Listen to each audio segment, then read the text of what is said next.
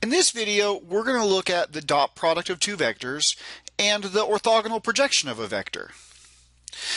The dot product. Given two vectors v and w, the dot product is denoted with a little dot between them. It's calculated by looking at the product of the x components plus the product of the y components.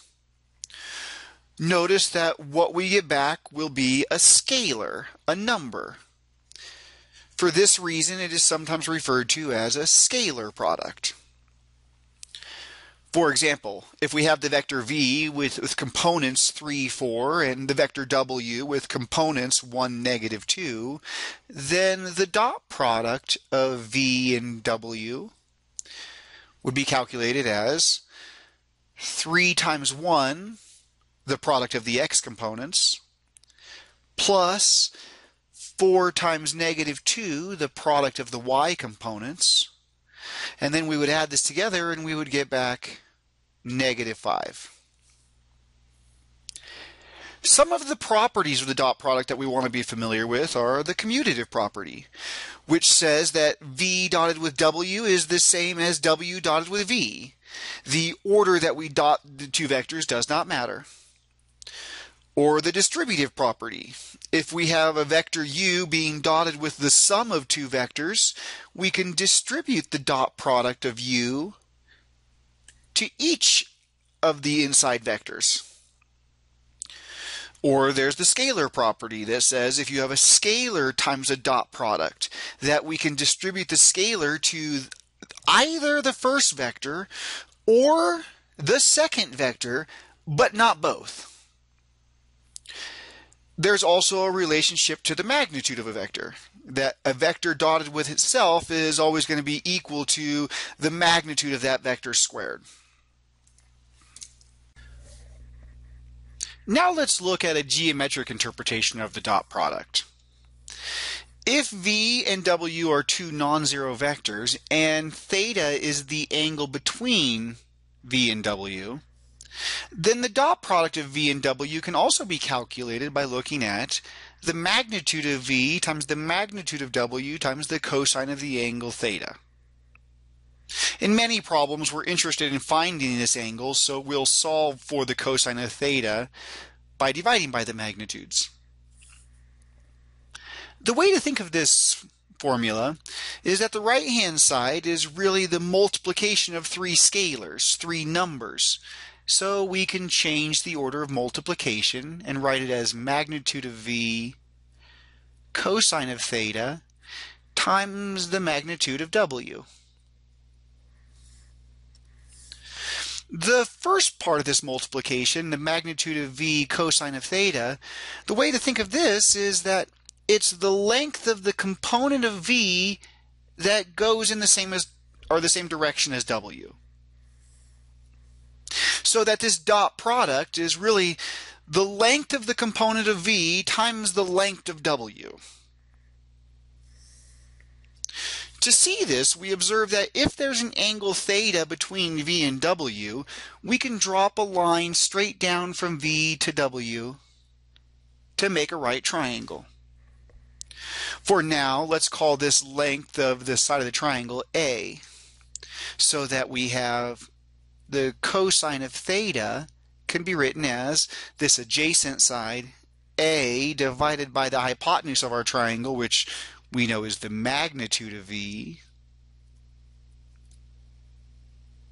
So that a can be written as the magnitude of v times the cosine of theta. It's the length of that component of v that moves in the same direction as w. Let's look at a couple particularly important examples when the angle between our two vectors are maybe 0 degrees or 0 radians. If the angle is 0, then we know that the cosine of 0 is 1, so the dot product results in just being the multiplication of these two magnitudes. If the angle between the two vectors is 90 degrees, if they're orthogonal, then we know the cosine of 90 degrees is 0, so the dot product of v and w would just be 0. Note that this is only going to happen if the two vectors are orthogonal, if they're at a 90 degree angle to each other. And lastly, let's consider if our two vectors are pointing in opposite directions. Then the angle between them would be pi, or 180 degrees, so that the cosine of pi would be negative 1. And so then the dot product of v and w would just be the negative of the product of these magnitudes. Let's look at another example. Let's find the angle between two vectors v and w.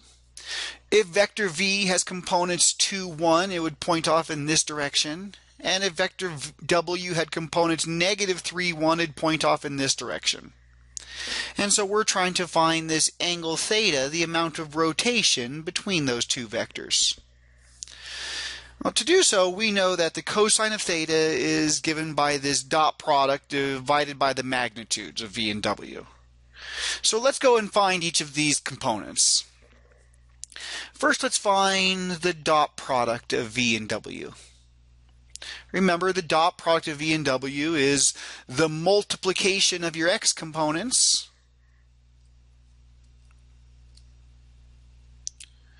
plus the multiplication of your y components. So that our dot product is negative 5. We also need to have the magnitudes of each of our vectors. So let's go find first the magnitude of v. And we know the magnitude of v is the square root of the components squared. So for v, that would be 2 squared, and 1 squared would give us square root of 5. And the magnitude of w, that would be the square root of its components squared. It would be negative 3 squared plus 1 squared would be the square root of 10 so that we have the cosine of theta would have to be that dot product, negative 5, divided by the product of those magnitudes, which if you grab your calculator, this that comes out being cosine of theta is about negative 0.707 so that theta would be the inverse cosine of negative 0.707. And if you're in degree mode on your calculator, that would give you 135 degrees. So that we know that there's a 135 degree rotation between those two vectors. Now let's look at the orthogonal projection of a vector v onto w. It is another vector denoted proj of v onto w. Note that the vector you're getting projected onto is the one that's the subscript. Well, it's going to be another vector that gives the component of v in the direction of w.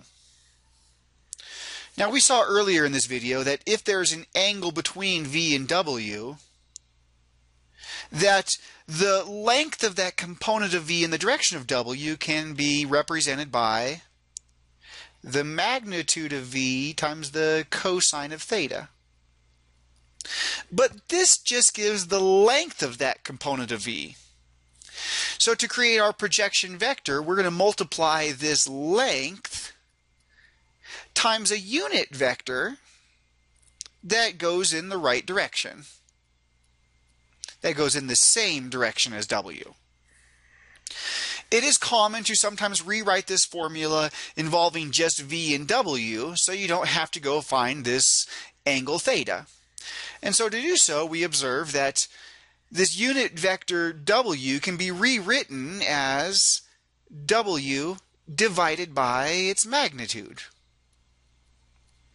And so we'll put the magnitude below the V cosine of theta leave the regular w vector off to the side. Now, multiplying the top and the bottom by another magnitude of w gives us this expression. Notice that the top, by definition, is the dot product of V and W. And so this gives us a shorter formula for finding the projection of V onto W. Let's look at an example. Consider the two vectors v and w here. Let's find the projection of v onto w.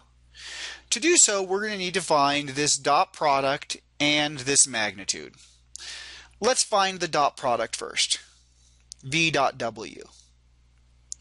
Now remember how we find our dot product is this is the multiplication of your x components added to the multiplication of your y components, which gives us a 5. And let's also go find our magnitude of w that we're going to need. Now the magnitude of w, remember, is found by looking at the square root of your x components squared plus your y components squared. And so for ours, our x component is 3 and our y component is 1. So this gives us a square root of 10. So to find our projection vector, this is going to be our dot product of v and w, which we know is 5, divided by the magnitude squared. Now if our magnitude is square root of 10 and we square it, we just get 10 and now we're going to multiply this by w, the vector 3, 1. Of course, you notice that 5 tenths right here is really 1 half. And so if we distribute that 1 half into our vector, we get the vector 3 halves and 1 half. And this is our projection of V onto W. Notice that it is parallel to W, but it's a little bit shorter. Well, I hope this video was helpful, and I'll see you guys next time.